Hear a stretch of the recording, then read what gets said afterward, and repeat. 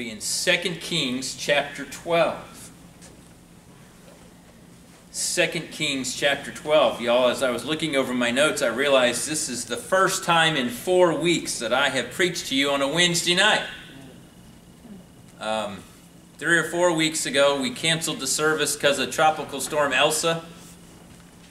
And then the following week after that, I had to take an emergency trip to the hospital with my mother. Brother Terry filled in for me. And then last week, we were out of town on our family reunion. Brother Scott did a great job filling in for me. I appreciate these men that God's brought here to help us with the ministry. But we'll pick back up now in 2 Kings chapter 12. A month ago, the last time I had the opportunity to preach to you on a Wednesday night, I shared with you a message entitled Lessons from Jehoash and Jehoiada. Jehoash was the king in the land of Judah, and Jehoiada was the high priest, the high priest of the Lord. So a month ago, it was lessons from Jehoash and Jehoiada. Tonight, the final part of this message is entitled More Lessons from Jehoash and Jehoiada. So let's pick up there in 2 Kings 12. I'd like to encourage you to have your pen ready and a notepad to write some notes down as the Lord may speak to your heart. Let's start in verse 1. I'm going to read down through verse 15. I'm honored to share the Word of God with you this evening. Verse 1, the Bible says, In the seventh year of Jehu, Jehoash began to reign, and forty years reigned he in Jerusalem and his mother's name was Zibiah of Beersheba. And Jehoash did that which was right in the sight of the Lord all his days, wherein Jehoiada the priest instructed him. Man, wouldn't you like it to be said of your life that, man, you did what was right in the sight of the Lord? That's not always easy to do. But may God give us the grace and may God direct us to do so in the power of the Holy Spirit. Verse 3, But the high places were not taken away, the people still sacrificed and burnt incense in the high places. That's letting us know that although Jehoash was doing right, there was still an area of compromise in his life. Verse 4 And Jehoash said to the priests, All the money of the dedicated things that is brought into the house of the Lord, even the money of everyone that passeth the account, the money that every man is set at, and all the money that cometh into any man's heart to bring into the house of the Lord, let the priests take it to them, every man of his acquaintance, and let them, let the priest, repair the breaches. Breaches is what the King James says, or repair the damage of the house, the house of the Lord, wheresoever any breach shall be found. But it was so that in the three and twentieth year of King Jehoash, the priest had not repaired the breaches of the house. Then King Jehoash called for Jehoiada the priest and the other priests, and said unto them, Why repair ye not the breaches of the house? Now therefore receive no more money of your acquaintance, but deliver it for the breaches of the house. The king wanted the house of the Lord repaired. Verse 8, And the priest consented to receive no more money of the people, neither to repair the breaches of the house. But Jehoiada, the priest, took a chest, or you might say like a box, and bored a hole in the lid of it, and set it beside the altar on the right side as one comes into the house of the Lord. And the priests that kept the door put therein all the money that was brought into the house of the Lord. Doesn't that sound familiar, y'all? Verse 10, And it was so, when they saw that there was much money in the chest, that the king's scribe and the high priest came up, and they put up in bags and told the money that was found in the house of the Lord. By the way, how many people did they have handling the money, y'all? Two. Two. Always two. Verse 11, And they gave the money, being told or being counted, into the hands of them that did the work, that had the oversight of the house of the Lord. All right, the priests weren't getting the job done, so they turned it over to, to somebody else. And look at the rest of verse 11. And they laid it out to the carpenters, like Brother Scott, and builders, like Brother Scott. Carpenters and builders that wrought upon the house of the Lord. So they turned the money over to the workers.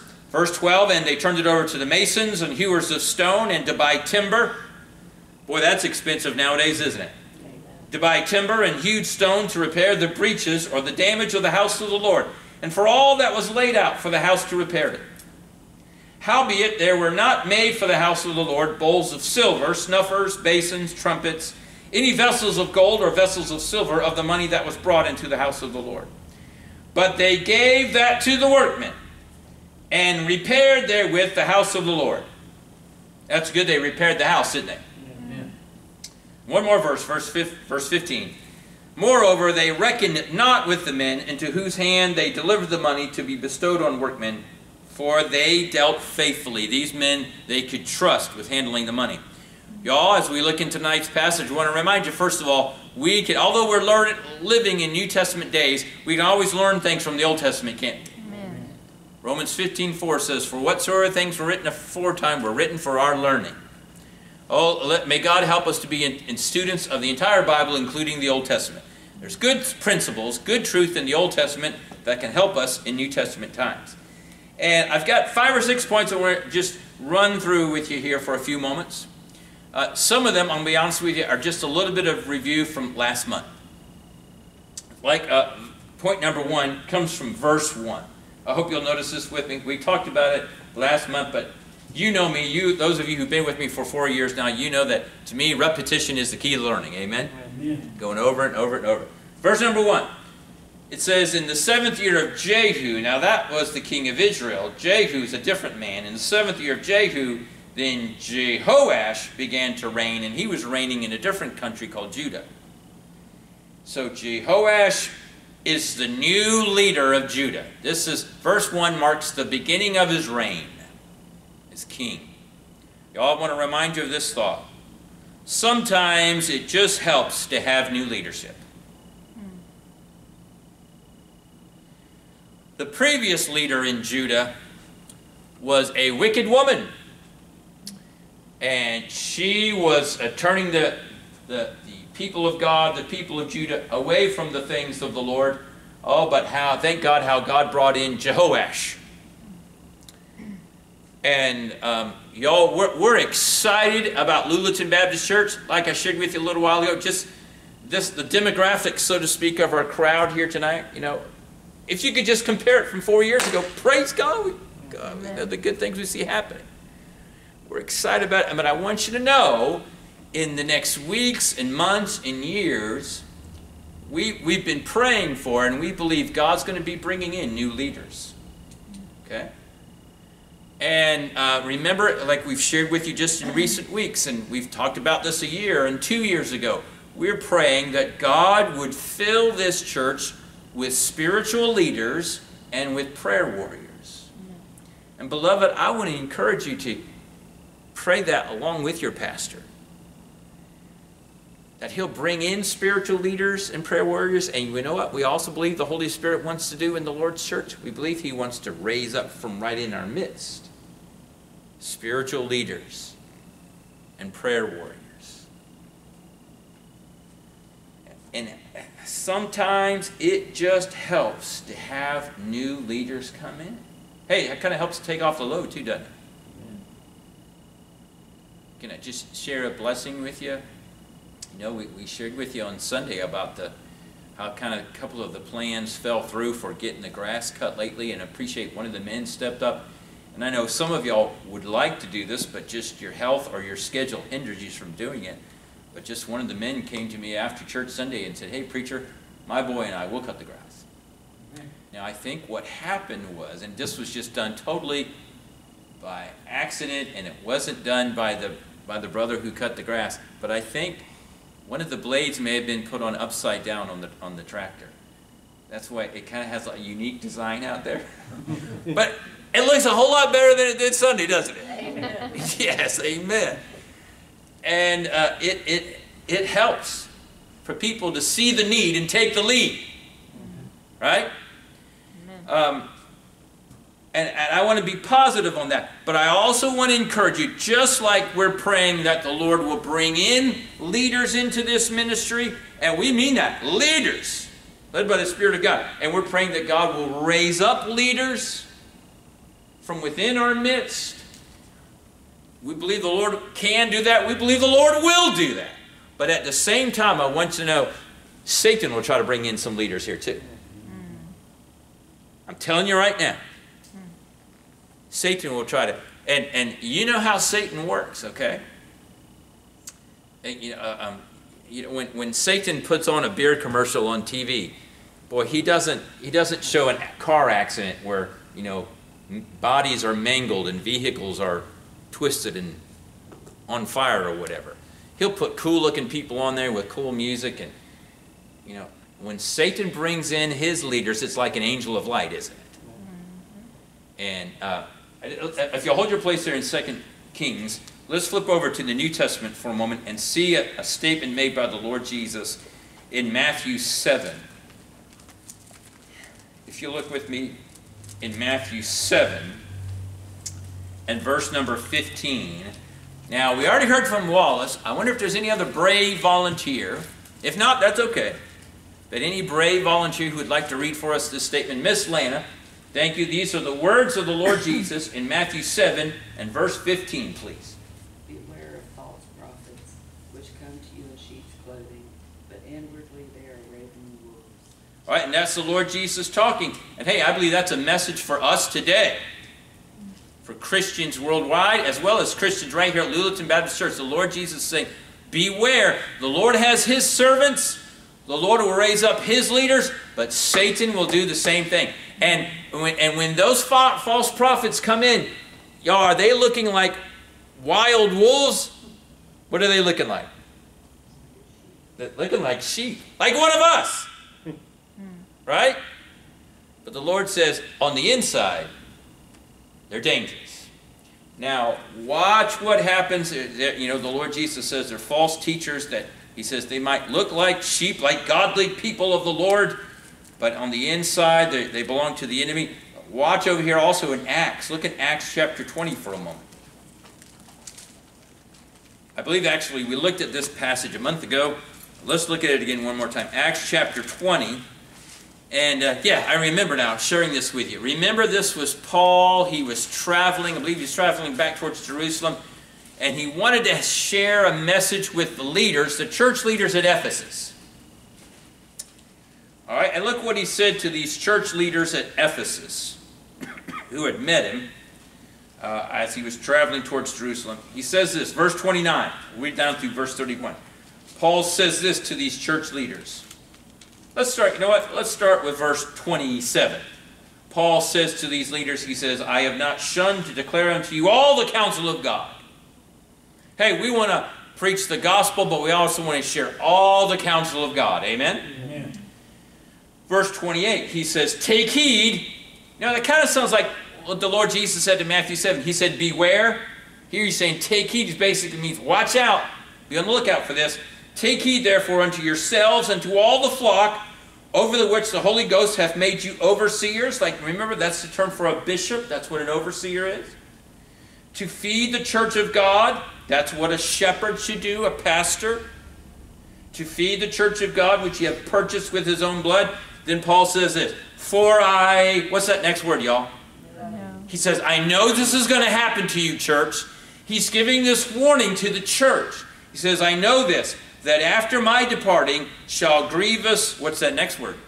Wolves. wolves. Shall grievous wolves enter in among you, not sparing the flock. And who are those wolves? Those are false teachers coming in. They look like sheep. But Paul says, oh, no, remember, they actually have a very different message and a very different plan. Verse 30, he says, also of your own selves. He says, hey, not only are Satan's leaders going to come from the outside, but even from within your own group shall men rise, speaking perverse things, to draw away disciples after them. See, a good leader is going to encourage you to follow who? The Lord, yes. A false leader is going to encourage you to follow them. Then finally, verse 34, therefore, watch. Watch. He says, take heed. He says, watch. Jesus said, beware. Therefore, watch and remember that by the space of three years I cease not to warn everyone night and day with tears. Mm. Y'all going back to our original point now and going back to our text in 2 Kings 12. Hey, it's uh, it, sometimes it's just helps to have new leaders. And we thank God. We believe God's bringing leaders into this ministry. We believe He's going to raise up leaders from within this ministry. But we always want to be on guard for Satan's influence as well. Amen? Amen. Uh, that's just the world in which we live. Uh, our next point comes from verse 4. We talked about this um, uh, last month. Look at verse 4. And Jehoash, that's the king of Judah. We're back in 2 Kings 12 now. And Jehoash said to the priests, All the money of the dedicated things that is brought into the house of the Lord, even the money of everyone that passes the account, the money that everyone is set at, every man is set at, and all the money that comes into any man's heart to bring into the house of the Lord. There they are talking about money, and you know what? I, I don't know. It might be in your Bible. It, it might not. If it's if it's not, that's okay. But in this copy of the Bible I have, it's got the date, uh, the date, the approximate date of when this story took place. And it tells us here at the top of the page that this story with Jehoash and how he wanted to repair the house of God, it, it took place about 900 BC. You know, now we live that was 900 years before Christ was born. Now we live like 2,000 plus years after Christ was born. Here's what I'm trying to say. Almost 3,000 years ago, God's people were talking about money then. God's people have been financially supporting God's work for thousands of years. Amen. By the way, what a blessing to do so. Amen? Yes. Ooh, that was a little weak. Oh, we can do better than that. What a blessing to be used of God to support His work financially. Amen? Amen. Amen. Now, uh, watch this. If you hold your place there in 2 Kings again, watch this. Go back to Deuteronomy for a moment. When you turn back to Deuteronomy chapter, let's go to chapter 16. You know what's really amazing, y'all? As you turn from 2 Kings back in the Bible to Deuteronomy 16, you're turning back about like about 500 years in time. So, about 500 years before Jehoash was talking to God's people in Judah, look here in Deuteronomy 16 and um, verse 17. Here Moses is talking to the people of God out in the wilderness. Deuteronomy 16, 17. Here's a message Moses is giving from the Lord to God's people. Any brave volunteer want to read that verse? We have already heard from Lana, we've heard from Wallace. So, all right, Miss Lynn, if you read 16, 17, please. Every man shall give as he is able, according to the blessing of the Lord thy God, which he hath given thee. Amen. Thank you. What's those first two words, y'all, in that verse? Every, man. Every man. Every man. Hey, I want to encourage everybody to give. Now, what you give between you and the Lord, I believe God will bless you by getting by starting off with your tithe. But uh, here in Deuteronomy, we see every man. There in verse 17.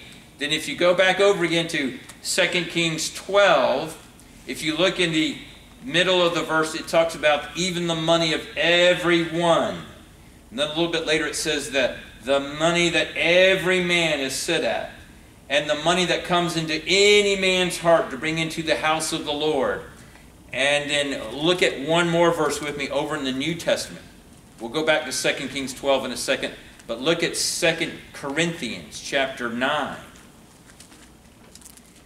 Deuteronomy, Miss Lynn read to us, the Bible says, every man.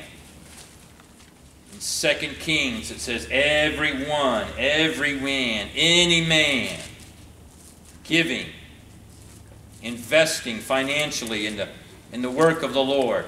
Now look here at 2 Corinthians 9 and watch, look at verse 7, y'all. Somebody just tell us, what's the first two words in verse 7?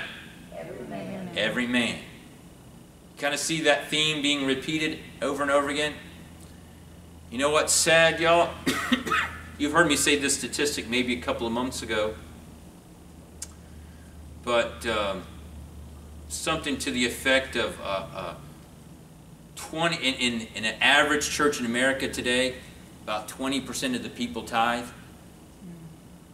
Just want to remind you, the Bible teaches over and over again, every man. Look again at verse 2 Corinthians 9 7. every man according as he purposeth in his heart, so let him give, not grudgingly or of necessity, for God loves a what, y'all? Cheerful giver. Lord, please give us a spirit of generosity. And I want to remind you, the, the Lord, I believe this with all my heart. The Lord reminds me to pray this for y'all on a regular basis, almost to the point where it's daily. In fact, I was sitting down at my little desk in our dining room today, writing out the notes for tonight. It was like the Lord just directed me to stop and pray this to you for you tonight. And this is a regular prayer for you. Praying that the Lord will bless you. That the Lord will bless you physically. He knows where you're hurt physically, doesn't he? I'm praying that the Lord will bless you physically, financially, spiritually, mentally. Boy, this, this world will work on your mind, won't it? I'm praying that the Lord will bless you emotionally physically, financially, spiritually, mentally, and emotionally. And I've been praying, and it's, it's like the Holy Spirit has been telling me to pray this for y'all. That God would bless you in, in those ways, big and small, in every area, spiritually, financially, physically. And I've been praying, the Lord's been leading me to pray for you that when He does bless you, He'll bless you in such a way that you'll know it was from God. Amen. The Lord blessed you. But that's not the end of the prayer yet. There's two more parts to it. And then it's like the Lord reminds me to pray for you that as you get blessed, number one, you'll remember the blesser. Give thanks to God. Appreciate Him. Not just on the Wednesday nights, y'all. Amen. Amen. But even in a private time. Number one, remember the blesser. And then number two, understand that He blesses you for you to be a what, y'all? A blesser including with our tithes and our offerings. Say amen right there. Amen. All right. Going back to our text, from nearly 3,000 years ago, God's people were financially, financially supporting God's work. Let's look at verse number 5. 2 Kings 12 5. Let the priests take it to them, every man of his acquaintance and let them repair the breaches or the damage of the house. We're talking about the Lord's house, right? That's the context. Wheresoever any breach shall be found. Y'all, here's the point. We want to make sure God's house is in good shape. Amen. We understand that today this building is really not the God God's house. Y'all, according to the New Testament, what is actually God's house? the members, the members corporately, then your body individually. You have the Holy Spirit living inside of you. Your body is the temple of the Holy Ghost. And so my point is, you know, from the text is make sure God's house is in good shape. In that in that context, it was the temple of the Lord back 3,000 years ago. But we want to make sure that this temple is in good shape too, right? As best as we can. But we can also, in a way, refer to this building. We, we want to make sure God's house is in good shape. Hey, I want to compliment you, give praise to God and compliment you that just in the midst of all this COVID, and it's, you know, we're just a little flock here, but y'all, because of your generosity and the goodness of God, I mean, this building, this whole building, the exterior got painted, the whole campus. I mean, even our little pump house over there got painted. Thank God. That was the first time in maybe, what, 10 or 15 years, Miss Linda, you think?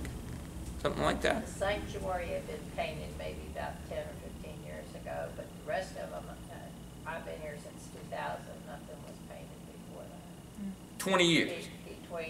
Be- two thousand and ten and two thousand, it was sometime before that. See, yo, what you're doing is you're trying to kind of repair the house of God, so to speak. Trying to uh, make sure it's in good shape. Now, I just want to throw this out here to you. Just something else to pray about. You say, man, Brother Steve has a lot of things to pray about. Yes. But praise the Lord, amen. Yeah. But you know, and this is not a complaint. Thank God for the facilities we have, amen. But I don't think the inside of this building has been updated since it was built. Is that fair to say? Yes, Okay. Y'all, this building, the first service was in 1992. I wasn't here, but I think so. 1992. That's what the, that's what our historical books, y'all, not complaining. Thank God for these facilities. But next year will mark 30 years, y'all. Okay? Um, we want to make sure that God's house is in good shape. That, that's what they were doing here. They were, they were saying here in 2 Kings, hey man, let's fix it up. It's time for an update. Okay, I need to hurry along. Okay? Um, look with me, if you would, please. Again in verse 4, see at the beginning of verse 4 it says, Jehoash, the king says to the priest, he's saying, You take the money that the people of God is giving. And then in verse 5, he says, Let the priest take it to them. Let them take the money the people of God are giving to the work of God. And let them, let the priest repair the damages to the house. That was the original plan. The king said, Priest, you take the money the people of God are giving, and you take it, get the house of God fixed up. But look what happens in verse 6. But it was so that in the three and twentieth year of King Jehoash, the priests had not repaired the breaches of the house. And verse 7, then King Jehoash called for Jehoiada the priest. He's, the, he's like the head priest, the high priest. And he called the other priests and said to them, Why did you not repair the breaches of the house? Here's the point, y'all. Not every plan works out the way it was originally intended. Okay? In the months and years to come, Pastor Steve and your ministry team, we're going to come and present to you all these different plans and perhaps programs and ideas. Just want to remind you, we got we just got to be aware of the fact that it's not a perfect world, right? It's not always going to work out the way we originally intended. In this case, what would y'all just what would y'all say is going on here? What what had happened?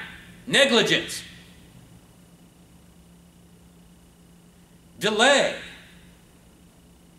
As a result of the priest's negligence. I just want you to be open to the fact that not every plan works out the way it was originally intended. Let's jump down. I'm going to try to wrap things up. Jump down to verse 11. So they go to plan B. They wind up giving the money to these overseers. Look at verse 11. They gave the money, being told, being counted, into the hands of them that did the work, that had the oversight. You might say these are maybe like kind of like the supervisors or the managers of the construction site, kind of like Brother Scott's role at his job. All right? Uh, they gave the money to the, the uh, managers that had the oversight of the house of the Lord, and they laid it out to the carpenters and builders that wrought upon that, those guys who worked on the house of the Lord, and to the masons and the hewers of stone and to buy timber and hewed stone. Here's the point, y'all. Uh, what it wound up being was it just was a team of people getting together to make it all happen, wasn't it? Mm-hmm. It wasn't just one man or one particular group or one little clique. It was the carpenters, the builders, the masons, the hewers, the, the lumber people, the, the priests who were finally getting on right track and doing the right thing, and the overseers, and, and the king kind of holding everybody uh, accountable. Hey, it was teamwork, and teamwork makes the dream work, right? Right. As we're looking for God to. Uh, to move in our midst here. We can expect Him to bring in leaders and raise up leaders. We want to be on guard for the, the, uh, the wolves that Satan will try to bring in. Uh, we want to look to the Lord and say, Lord, would you just use me to show me how I can be a blessing financially to the work of God here? Uh, we understand that some plans might be presented, and sometimes those plans may fall apart for whatever reason. But as we go to a plan B or a plan C or D or whatever, we want to work together as a team Amen. and, and realize that God, listen to this, brothers and sisters in Christ. Some of you are looking up here at me right now, it just, it looks like you're really soaking it in really good. That's cool. Listen to this. God has a ministry for you in His church. Amen. He has some role for you in this. I appreciate, I won't name any names right now because I don't want to embarrass anybody, but uh, one of the ladies of our church, like that one man stepped up and said, Hey, my boy and I will cut the grass this week. One lady contacted me this week and said, Hey, while Miss Gail is out, I'll be willing to help Miss Ollie with the kids. Isn't that great? Amen. Okay? Um, and I, I don't know what all your ministry might, God might have for you, but He'll show us. God has a ministry for you in His church. By the way, He also has a mission for you in the world. Amen. Always remember that. Y'all, as Christians, what is our mission in the world, y'all? Primary mission number one Tell people about Jesus. get the gospel out. The word gospel means good news. What's the good news, y'all? I'm going to give you a hint. There's three elements to it. Jesus said, Christ died for our sins. He was buried, and he rose. rose again the third day. Y'all, that's the gospel. That's the good news. No one can get saved unless they believe that. Amen. That's the power of God unto salvation to everyone that believes. That's our mission in the world. But we don't need to be sharing the gospel with each other in here, at least with those of us who have already been saved, because you don't need to get saved again. But we do, we don't have a mission for salvation with each other in the church, but we do have a ministry to each other, encouraging one another. And Lord willing, in the next uh, few weeks, we'll be talking to you about that. We'll be mentioning to you, if you if you'll do this. Uh, um, Brother Scott doesn't know it yet, but during the Sunday school hour in August, I'm going to ask him, and, and he might turn around and say, "No, Brother Steve, I don't want to do that." So that, I'll give him the liberty to do that. But I'm going to ask him to speak during one Sunday school hour this coming on to our whole group in the month of August, men and women. Uh, I'm going to ask Brother Ernie I can twist his arm into coming in, maybe just speaking to our whole group during the Sunday school hour, one Sunday uh, in August. But I also like to share with you a couple of Sundays just some opportunities for ministry, some ways you can help. So I hope you'll come to Sunday school every Sunday in the month of August. Every member is a minister. Listen to this, y'all. Be a participant, not just present. You're somewhat, you might not be able to serve in some major role. Your health might limit you, or your schedule might limit you. But there's some way you can serve. I like this thought. Every member is a 10 in some area. There's some way, some place in this church, some role where the Holy Spirit will use you to do something that no, not another person in this church could do it any better than. That's true of every one of you Christians sitting in here. The key is for us to find out where you fit.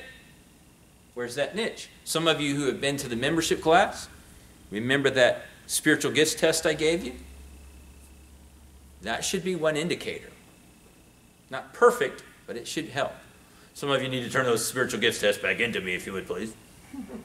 if you misplace yours, that's all right, I'll get you another one. But that's one reason why we gave you that spiritual gifts test, to see maybe what your niche might be. Then let's close with this, y'all. It, it says here in 2 Kings 12 that finally they got the right plan and people were working together and a great work was being done. In verse 14 it says the workmen repaired the house of the Lord. It did get repaired. But I really like the same story. We'll close with this. The same story in 2 Kings 12 is kind of repeated in 2 Chronicles 24. So let's close with 2 Chronicles 24. After 2 Kings is 1 Chronicles, and after 1 Chronicles is 2 Chronicles, chapter number 24. If you'll look there with me, please. It's the same story, just a little bit more details given in this passage uh, that were uh, not recorded in 2 Kings 12. 2 Chronicles 24. All right? Say amen when you get there. Amen. All right? Second Chronicles 24. Let's pick up in verse 12. We'll look at verse 12, 13, and 14. it says, And the king, that's Jehoash, king of Judah that we read about in 2 Kings 12. Over 2 Chronicles 24, 12, it says, And the king and Jehoiada, you might remember Jehoiada was the high priest. The king and Jehoiada gave it to such as did the work, they gave them money, they gave it to such as did the work of the service of the house of the Lord, and hired masons and carpenters to repair the house of the Lord. That all sounds familiar, right? Mm-hmm. It's the same story, just a different book. And also such as wrought iron and brass to mend the house of the Lord. They wanted to get it fixed up. Verse 13, so the workmen wrought, or that means the workmen worked. They did their job. Thank God for good workmen who do work right. Amen. Amen. The workmen wrought, and the work was perfected by them. They did a really good job. Mm. And they set the house of God in his state and strengthened it. They did a really, really good job. Mm. Verse 14 And when they had finished it, they brought the rest of the money before the king and Jehoiada, whereof were made vessels for the house of the Lord, even vessels to minister and to offer withal, and spoons and vessels of gold and silver. And you know, they had leftover money. So what did they do with the leftover money? They handled it the right way. They invested it back into the house of God. And then at the end of verse 14 it says, And they offered burnt offerings in the house of the Lord continually all the days of Jehoiada. A couple of concluding thoughts here. First of all, we see that they finished the job. Hey, when we start a, when the Lord leads us to start a work, and He stirs our hearts to start a work at Lulaton Baptist Church as a group, and when He stirs your heart to be involved in a ministry, in your own personal ministry, let's finish the job. Amen. Don't quit in the middle of it. Amen. Don't walk away from it. Let's finish the job and let's finish it well. Amen. You see how those workmen they they made it look sharp? Then I love, you know, once the house of God was repaired, they could start worshiping again in the house of God. And there at the end of verse 14, it said they offered burnt offerings in the house of the Lord continually. Mm-hmm. All that could have a lot of meanings. Here's one prominent meaning when it says they offered burnt offerings. The Israelites, the people of Judah, they would have known what burnt offerings today, we don't offer, you know, animal burnt offerings today. But back 3,000 years ago, watch this, men, watch this, ladies.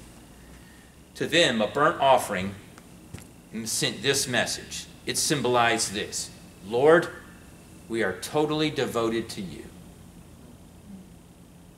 Isn't that great? It was just another step in their spiritual life, in their devotion to the Lord. I'm going to ask you if you bow your heads with me, please. Close your eyes.